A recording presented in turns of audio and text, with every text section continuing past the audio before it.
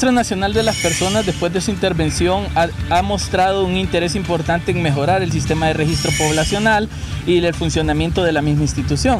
Sin embargo, hay un tema importante que mencionar acá. El censo poblacional y esta nueva tarjeta de identidad ya tenía unos meses de retraso antes de que llegara la pandemia a razón de que no se había logrado adquirir los kits y contratar la empresa que iba a generar la impresión de la nueva identidad. Sin embargo, se está en ese proceso. Lo preocupante es que están pasando los días y que el proceso no ha iniciado como nosotros esperaríamos. El compromiso está que a diciembre va a haber un nuevo registro poblacional y que a enero, febrero todos tendremos tarjeta de identidad.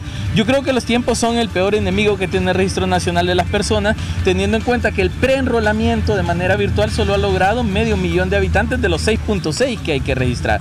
Por lo cual aquí el compromiso debería ser lograr hacer el censo poblacional, que este censo se pueda verificar y cruzar con la actual tarjeta de identidad de tal manera que podamos depurar de manera preliminar los muertos y los que se encuentran en el extranjero. Si no va a estar la tarjeta de identidad, esta debe estar para generales, con el censo totalmente verificado por el Consejo Nacional Electoral, pero que hay algo importante que nosotros hemos mencionado. Las elecciones primarias le corresponden a los partidos políticos, no le corresponde al Consejo Nacional Electoral.